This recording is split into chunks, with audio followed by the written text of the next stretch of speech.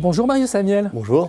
Vous êtes normalien, vous avez 28 ans, vous êtes jeune et vous écrivez justement sur le marché du travail des jeunes. Vous avez écrit dans la revue Le Débat cet article qui s'appelle Malaise sur le marché du travail. Alors qu'est-ce qui provoque ce malaise que vous décrivez dans votre génération? Je dirais que ce qui provoque ce malaise, c'est une plus grande réticence dans la génération actuelle qui est la mienne à accepter des modes d'organisation du travail qui finalement évoluent assez peu, qui sont marqués par des organisations euh, très hiérarchiques, des structures pyramidales et aussi au niveau individuel euh, par des relations de travail euh, paternalistes, euh, infantilisantes, et côté salarié aussi par euh, une culture de l'affrontement qui n'invite pas toujours au dialogue. Et voilà, on observe une plus grande réticence également vis-à-vis du modèle du CDI temps plein qu'on présente encore comme une norme qui reste la norme statistiquement, mais qui est aujourd'hui concurrencée par d'autres formes de, travail, par le cumul d'activités, l'entrepreneuriat, le travail indépendant. Et c'est principalement ça qui provoque ce malaise, d'autant que ce modèle n'a pas été repensé euh, face à la transition numérique qui met les gens quand même dans la main des, grandes plateformes du numérique et vient un peu balayer tout ce modèle euh, traditionnel. Alors on en parle souvent de ce malaise en disant que les jeunes cherchent davantage que leurs aînés du sens au travail. Est-ce que vous partagez cette idée? Euh, Plus ou moins, c'est-à-dire que c'est sans doute davantage le cas que par le passé. Après, il ne faut pas non plus, il faut voir ce qu'on met derrière. C'est-à-dire que c'est un peu devenu impensif. beaucoup de gens disent, oui, vous les jeunes, vous, vous voulez du sens. très bien, déjà, quel est le sens? Ça peut varier d'une personne à l'autre. Et puis par ailleurs, il y a, je pense, deux tendances, c'est-à-dire des personnes qui effectivement veulent euh, donner du sens à leur travail, qui veulent mettre leur travail au service de causes qui leur tiennent à cœur, de causes sociales, environnementales, euh, sociétales euh, ou autres.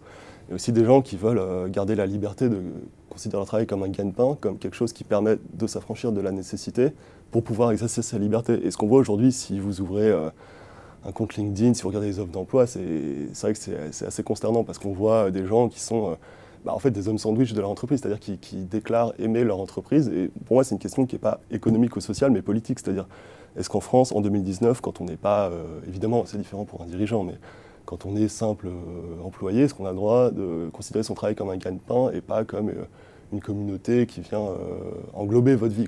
Et ça, c'est un sujet assez majeur aujourd'hui. Mmh.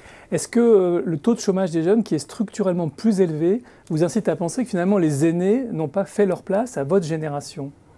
Oui, après, encore une fois, c'est un problème assez spécifiquement français, enfin spécifique euh, à la France et aux pays latins. Je rappelle quand même que la totalité des pays qui ont intégré l'Union européenne depuis 2004 ont un taux de chômage des jeunes plus faible qu'en France, donc euh, y compris la Bulgarie, la Roumanie. Bon, il faudrait voir aussi en fonction de l'émigration, de l'économie informelle, Il y en évidemment. Qui quittent aussi leur pays pour aller. Mais c'est quand même pas rien pour un pays comme le nôtre qui se prétend une grande puissance économique euh, internationale. C'est pas euh, sans répercussion sur notre image euh, évidemment à l'étranger. Et l'image que les jeunes ressentent aussi. Évidemment, oui, tout à fait. Après, il y a cette difficulté d'accès à l'emploi, mais aussi une difficulté des aînés à faire de la place aux jeunes dans l'emploi. C'est-à-dire que ce qu'on constate, c'est un discours, un jeunisme de façade où on dit venez apporter des méthodes euh, nouvelles, innovantes, euh, venez un peu... Euh, Nous renouveler, quoi. C'est le discours. Casser les codes, faire bouger les lignes. Mhm. en fait, ce qu'on voit, c'est que finalement, pas grand-chose ne change, que les aînés ont du mal à parfois déléguer des responsabilités, à faire de la place, tout simplement.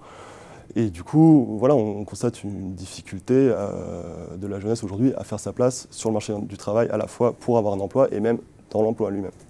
Dans le parcours professionnel.